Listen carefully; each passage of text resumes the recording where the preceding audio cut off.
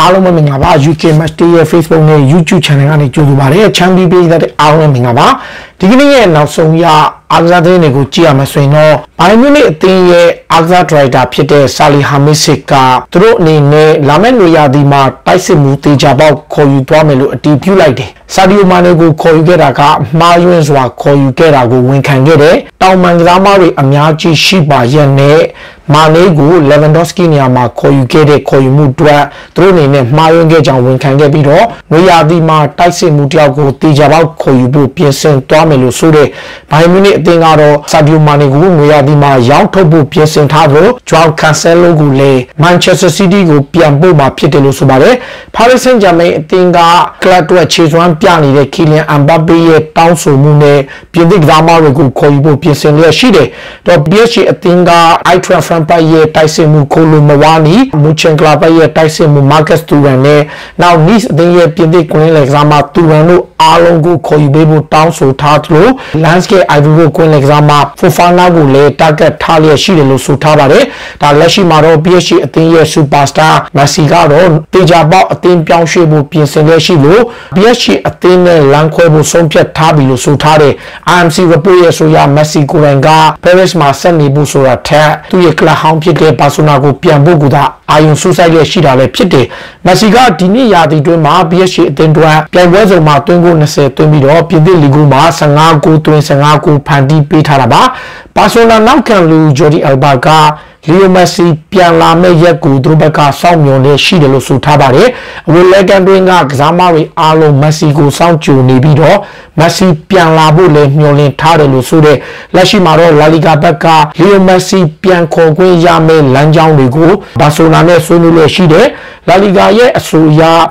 လီယိုမက်ဆီကိုဘာဆိုနာနီနဲ့ပြန်ခေါ်ကြည့်ရင်သူ့ရဲ့လောက်ခလာစာကိုတနစ်ကိုယူရို25တန်းရယူရင်ဖြင့်မက်ဆီကိုဘာဆိုနာပြန်ခေါ်နိုင်လိမ့်မယ်လို့လာလီဂါကကက်တလန်ကလပ်ကိုအတည်ပြုထားပြီးဖြစ်တယ်။ရီယယ်မက်ဒရစ်အသင်းကတော့မန်ချက်စတာစီးတီးနဲ့ကံမဲ့ပထမအကျော့ပွဲစဉ်ရဲ့ဥရောပဘောလုံးဖွဲ့ချုပ်ရဲ့ဆုံးဖြတ်ချက်ကိုစိတ်ပြည့်လျက်ရှိတယ်။ကိုပါဒရေးဖိုင်နယ်က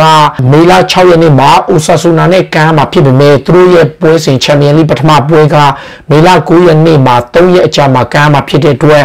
ဒုတိယနေ့ကစားဖို့မေလ10ရက်နေ့ကိုရွှေ့ပေးဖို့တောင်းဆိုခဲ့ပေမဲ့ဥရောပဘောလုံးဖွဲ့ချုပ်ကငင်းဆန်ခဲ့တဲ့အတွက်ဒီဆုံးဖြတ်ချက်ကိုစိတ်ပြည့်လျက်ရှိနေတာလည်းဖြစ်တယ်။မက်ဒရစ်ကစားမတွေအနေနဲ့ကိုပါဒရေးဖိုင်နယ်အပြီး82နာရီကြာမှာရီမက်ဒရစ်ရဲ့ချန်ပီယံလိပွဲကစားရမှာလည်းဖြစ်တယ်။ဆဗီယာအသင်းရဲ့နီးပြကတော့ဟိုတနေ့ကမန်ချက်စတာယူနိုက်တက်အသင်းကသူတို့ကိုကစားခဲ့တဲ့ခြေစွမ်းကိုတော်တော်လေးအားအားသိမ်းခဲ့တယ်လို့ဆိုလိုက်တယ်။ မျော်လင့်ထားတာက United ကဒီထက်ပိုပြီးတော့တိုက်ခိုက်မှုအပြည့်ကြိုးစားမှုအပြည့်နဲ့သူတို့ကိုရင်ဆိုင်မယ်လို့ထင်ထားပေမဲ့ Manchester United ကိုအလောက်ထိလွယ်လွယ်ကူကူနိုင်လိမ့်မယ်လို့မယုံကြည်ခဲ့သလို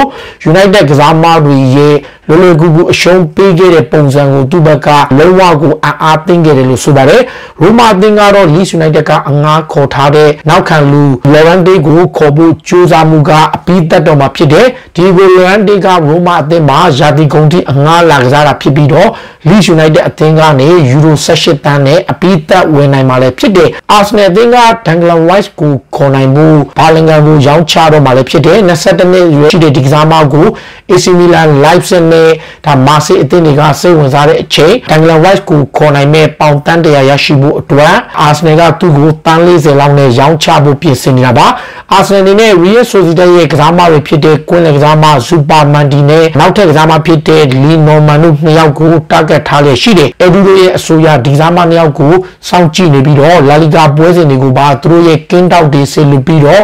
ခေါ်ယူနိုင်မဲ့နီလန်နေနဲ့သူတို့ရဲ့အခြေအနေကိုလေ့လာလျက်ရှိတယ်လို့ဆိုပါတယ်မီကယ်အာထေတာကတော့ဒဏ်ရာရနေတဲ့ဝီလျံဆလီဘာရဲ့အခြေအနေကအခုချိန်ထိတိကျတေချာမှုမရှိသေးဘူးလို့ဆိုပါတယ်ဆလီဘာဒဏ်ရာကြောင့်တောက်လျှောက်နားနေတဲ့အချိန်အာဆနယ်ကလည်းနောက်ဆုံး၃ပွဲစတိုက်တေချခဲ့တယ်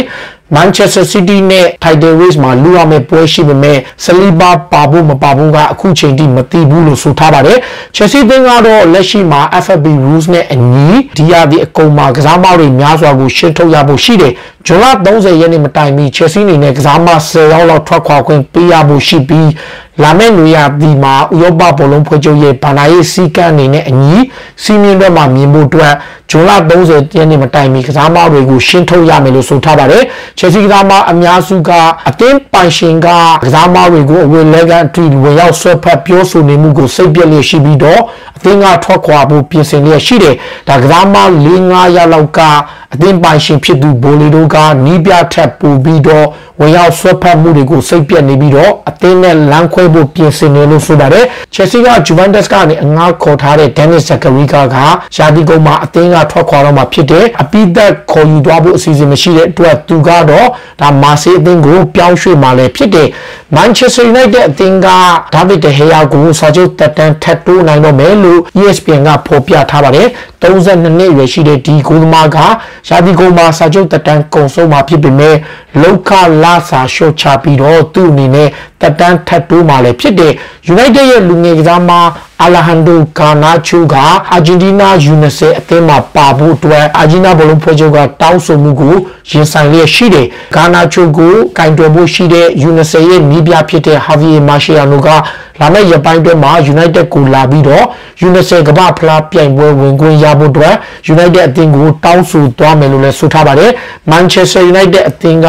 ဘိုင်မြူနစ်တင်းရဲ့နောက်ခံလူမာဇာဝါဝီကိုခေါ်ကျင်နေပါတယ်မော်ကိုရဲ့နောက်ခံကစားမကို United ကစောင့်ကြည့်နေသလို25နှစ်ရွယ်ရှိတဲ့ဒီကစားမက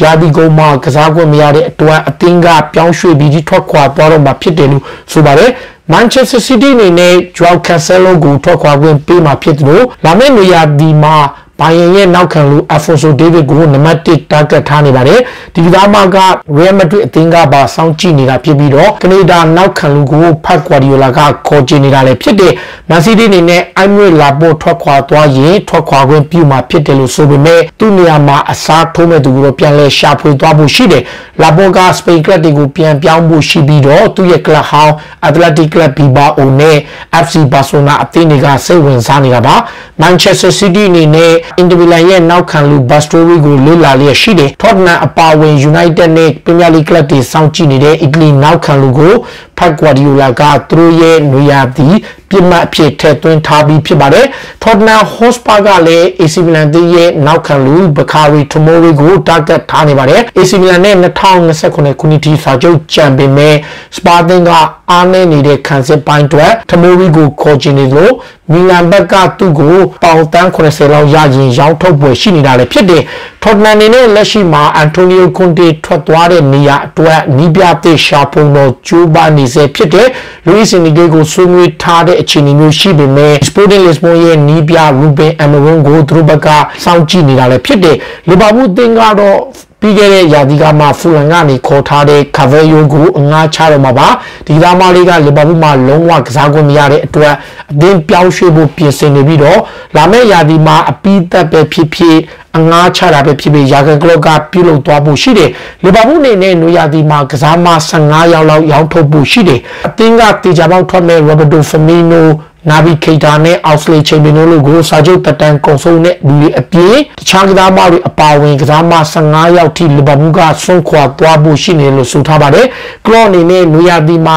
ကွင်းလယ်ကစားမတွေကိုခေါ်ယူပေးဖို့တောင်းဆိုထားသလိုအသင်းသစ်ကိုပြင်ဆင်ဖို့အတွက်အပြောင်းရွှေ့ခြင်းအသုံးစရိတ်က တန်း200လောက်ထိတုံးဆွဲခွင့်ရဖို့ရှိနေတာပါဝူဗာဟန်တန်အသင်းကလည်းစာချုပ်တစ်နှစ်ပဲကြံတော့တဲ့ကွင်းလေကစားမရူဘင်နေဗက်စ်ကိုရောင်းထုတ်မှာပါဒီကစားမကဒါနေရာဒီမှာလီဗာပူးပါဝင်ပရီးမီယာလိဂ်ကလပ်တွေကခေါ်ချင်နေပြီးတော့သူ့အတွက်ပေါင်တန်း40တတ်မှတ်ထားတာလည်းဖြစ်တယ်။ယူကာဆယ်ကတော့စာချုပ်ကြံရှိနေပေမဲ့အလက်ဆေမက်ဆီမန်ကိုရောင်းထုတ်မှာပါ။အဓိကကနေရာဒီမှာကစားမသိခေါ်နိုင်တဲ့အခါ လုံလောက်တဲ့ပြောင်းရွှေ့ခြင်းသုံးဆွဲနိုင်မှုအတွက်စိတ်မစီမံကိုရောင်းချသွားပြီးဝင်ငွေရှာဖွေသွားဖို့ပြင်ဆင်နေတာလည်းဖြစ်တဲ့ယူကာဆယ်ကစကော့မက်တိုမနီအပါဝင်ကွင်းလယ်ကစားမတယောက်ကိုရှာဖွေနေသလိုတစ်ဖက်ကအက်ဒရီယန်ရာဘီယော့စ်နဲ့အခြားကွင်းလယ်တွေကိုလည်းစောင့်ကြည့်လျက်ရှိနေပြီးတော့ချယ်ဆီအသင်းရဲ့ကွင်းလယ်ကစားမမေဆန်မောင်ကိုပါလေ့လာလျက်ရှိတယ်ဆိုတဲ့သတင်းတွေလည်းတက်နေတယ်။ White Sky Zero ကတော့ Brighton နဲ့စာချုပ်တက်တန်းထပ်တိုးထားပေမဲ့ Real Madrid အသင်းကိုကစားချင်တယ်လို့ဆိုထားတဲ့ မဒရစ်မှာကစားဖို့ကသူ့ရဲ့အိမ်မက်ဖြစ်လို့မဒရစ်သာကန်လန်ကွင်ရရင်သူ့အနေနဲ့တကယ်ကိုဂျင်းနဲ့မိမှာပဲလို့ဆိုခဲ့တာလည်းဖြစ်ပါတယ်ဒါတွေကစိတ်ဝင်စားစရာနောက်ဆုံးရအားရပါအလုံးကြီးကြပါတယ်ရေလိုပုံအောင်ရမည်